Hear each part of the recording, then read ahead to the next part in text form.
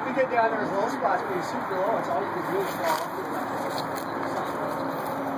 That was, that was fun. I Was all